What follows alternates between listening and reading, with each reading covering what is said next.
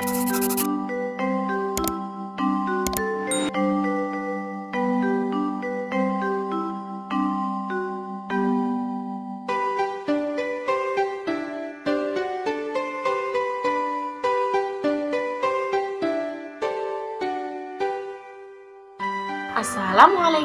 warahmatullahi wabarakatuh Halo teman-teman, apa kabarnya teman-teman hari ini? Alhamdulillah, dahsyat, dahsyat, Allah Akbar. Yes, Alhamdulillah teman-teman. Bertemu lagi dengan Bu Novi Di hari Senin tanggal 15 Maret 2021 Nah teman-teman, di hari Senin ini Bu Novi mau mengajak teman-teman untuk bercerita teman-teman. Bercerita tentang apa ya? Tapi tunggu dulu teman-teman. Sebelum kita bercerita hari ini, kita berdoa terlebih dahulu yuk. Jika berdoa, hat tangan diangkat, kepala ditundukkan. Membaca surat Al-Fatihah. A'udzu billahi minasyaitonir rajim. Bismillahirrahmanirrahim. Alhamdulillahi rabbil alamin. Ar-Rahmanir-Rahim. Maliki yaumiddin. إياك نعبد وإياك نستعين اهدنا الصراط المستقيم. صراط الذين أنعمت عليهم غير المغضوب عليهم ولا الضالين.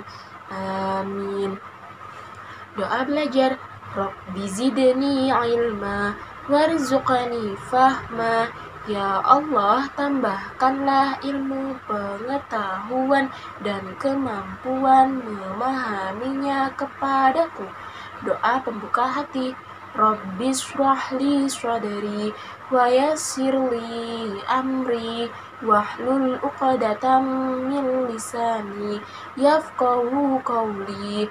Ya Allah lapangkanlah dadaku mudahkanlah urusanku dan lepaskanlah kekakuan lidahku supaya mereka mengerti perkataanku.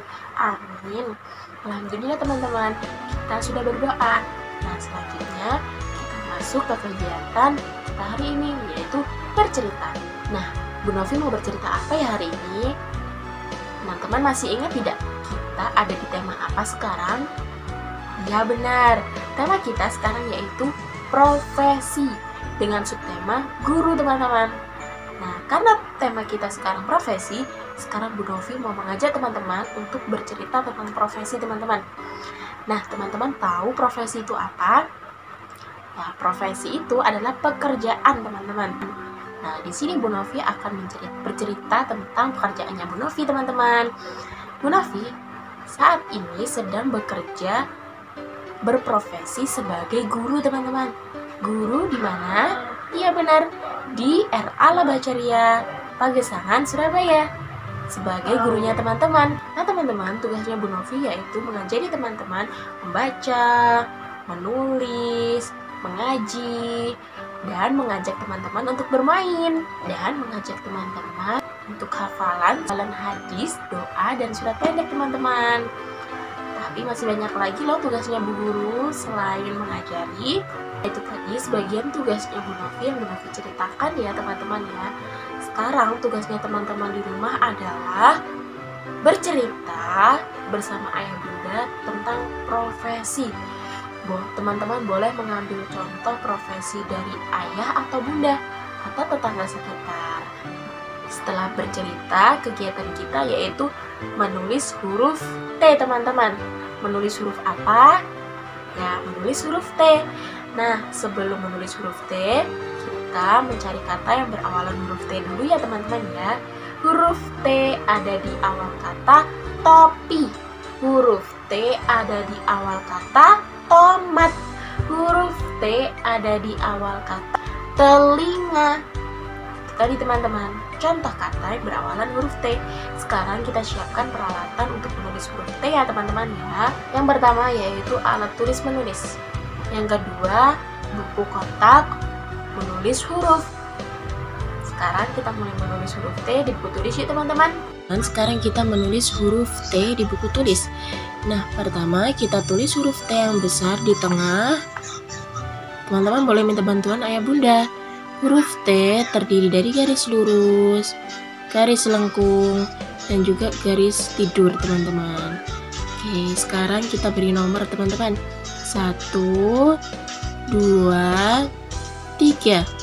Seperti biasa, menulis diberi jarak dan menulis sambil mengucap ya teman-teman ya. T. T. T. T. T. T. T. T. T.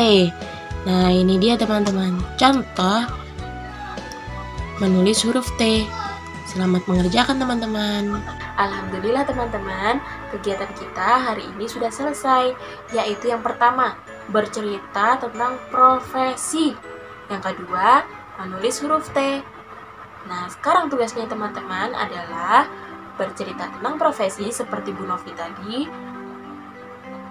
Yang kedua menulis huruf T bersama ayah bunda. Nah, hasilnya nanti untuk yang ber, yang bercerita di video. Dan untuk yang menulis huruf T boleh difoto dan dikirimkan ke Bu Guru ya teman-teman ya. Bu Novi dan Bu Merlin tunggu. Nah, pesannya Bu Novi sekarang yaitu teman-teman jangan lupa selalu jaga kesehatan. Selalu makan makanan bergizi, selalu pakai masker saat keluar rumah, rajin cuci tangan, dan selalu jaga jarak ya teman-teman ya. Terakhir, jangan lupa selalu semangat. Sampai jumpa di video berikutnya teman-teman ya. Terima kasih sudah mengikuti pembelajaran hari ini. Assalamualaikum warahmatullahi wabarakatuh.